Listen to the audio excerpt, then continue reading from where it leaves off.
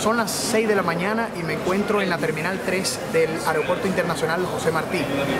En estos momentos me dispongo a salir para Panamá. Los invito a que participen conmigo de este viaje para conocer sobre la cultura, la geografía y la economía de ese país.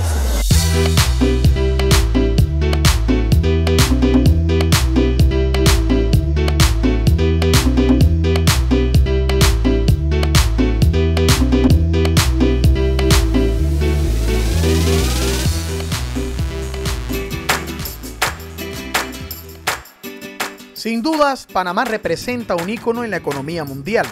Y la razón se debe a esta maravilla de la ingeniería inaugurada el 15 de agosto de 1914.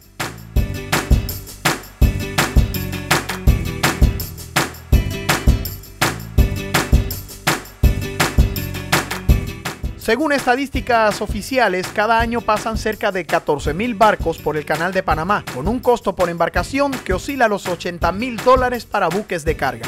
Una cifra aceptable teniendo en cuenta lo que representa en gastos y tiempo rodear el continente por el Cabo de Hornos.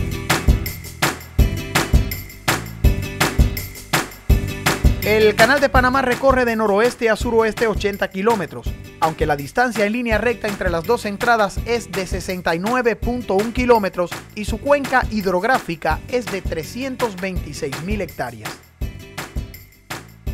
En la actualidad se han terminado la construcción del nuevo canal con el fin de permitir el tráfico a buques de gran calado con capacidad para 13.000 contenedores o más y se estima que por este nuevo cruce transiten 600 millones de toneladas de mercancía por año. Lo que hemos podido ver hasta ahora es que Panamá es una ciudad que está en constante desarrollo y se lo debe en gran medida al canal. Pero también el país es un importante destino turístico. La enriquecida cultura que posee aporta un cóctel de tradiciones representados en el baile, la música y el arte culinario, atrayendo la atención del turista que se identifica y se funde con la magia de las fiestas tradicionales.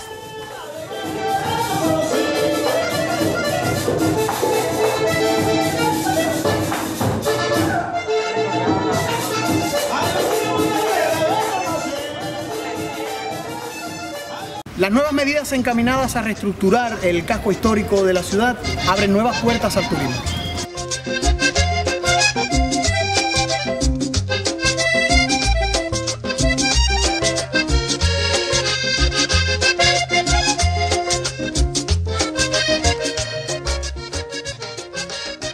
El constante desarrollo poblacional, que a su vez crece junto a la demanda de vehículos, expone un fenómeno que ya afecta a la capital del país. La congestión de las vías en horario pico obliga a las autoridades públicas a buscar alternativas para permitir un flujo seguro y rápido, por lo que en la actualidad opera un servicio de metros que planifica un crecimiento en sus redes para los próximos años con el fin de movilizar más de 278 mil pasajeros en horarios de 6 a 8 de la mañana, lo que supondría más de un millón de personas diario, el 50% de la demanda de transporte en el área metropolitana.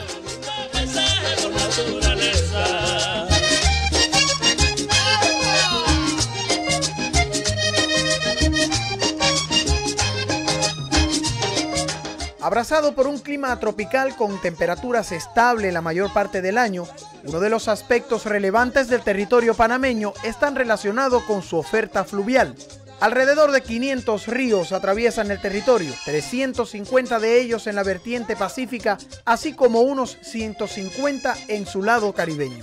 Panamá cerrará el año 2016 con una población de más de 4 millones de personas. Esto supone una tasa de crecimiento de 1.64%.